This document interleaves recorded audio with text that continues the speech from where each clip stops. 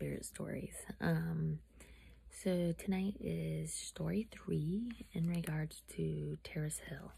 Um, Terrace Hill, if you live here, um, you know it is the governor's mansion is on the land. Um, the current governor lives there with her family and um, has offices there. Um, you can also take tours of the building, which if you haven't, I highly recommend it. It's one of the most beautiful buildings I've ever seen. Um, so a little bit about Terrace Hill. Um, it's been known as um, Benjamin Franklin Allen's mansion, and it's also been known as the Hubbell Mansion.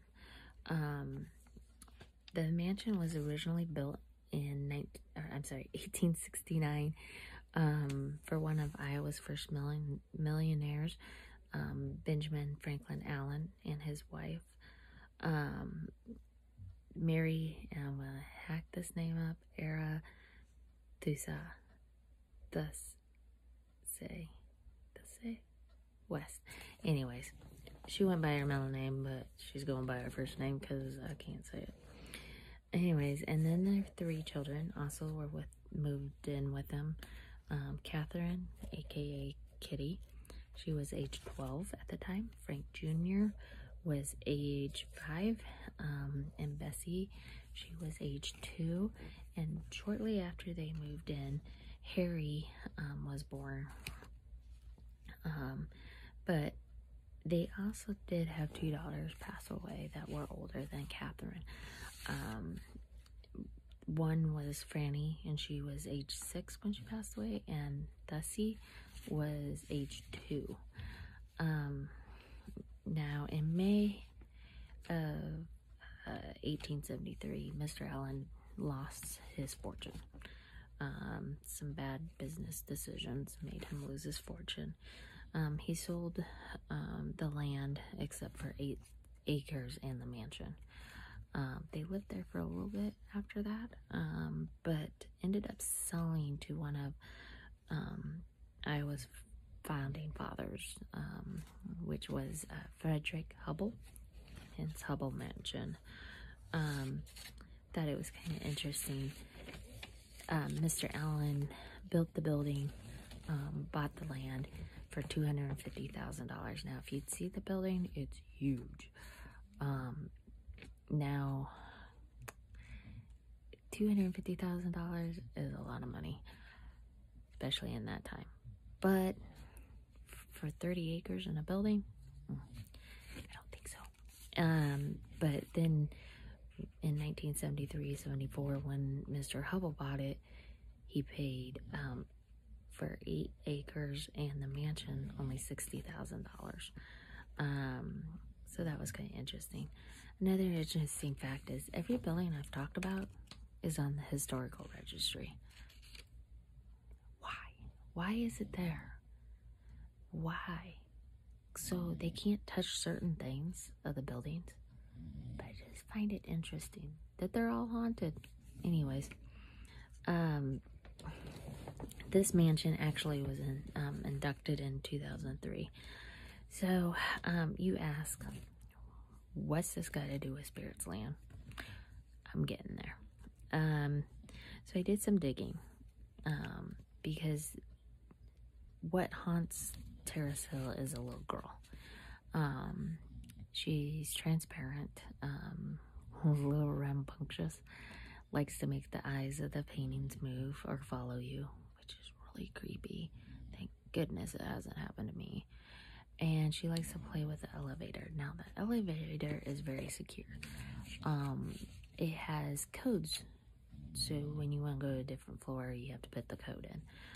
Um, however, they've seen it move without anybody in it. Um, they've heard footsteps coming out. People have seen the little girl um, playing around.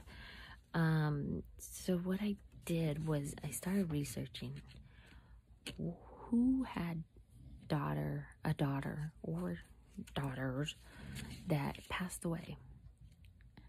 Hubbells didn't have anything that would be that young. But I went back to the Allens. The Allens did have the two girls passed away.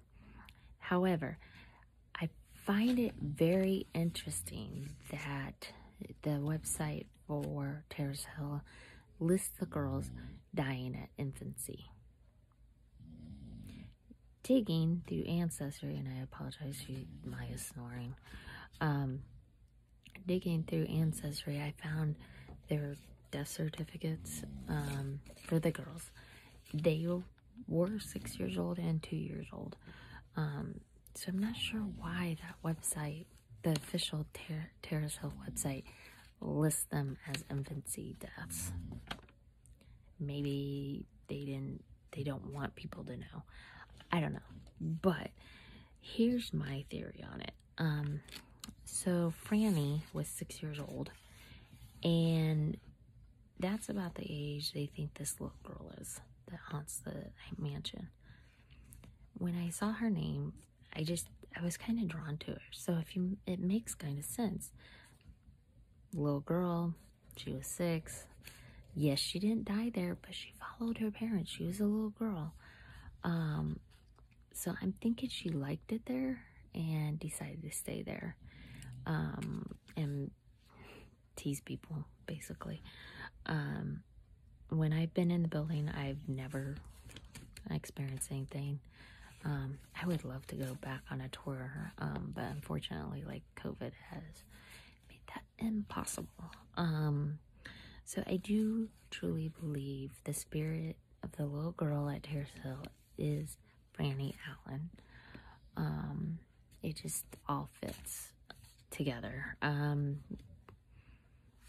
I just, a lot of things were really interesting researching. Um, but if you have ever been to Terrace Hill and experienced um, seeing the little girl or seeing the elevator move without anybody in it, um, please comment below and um, share your stories.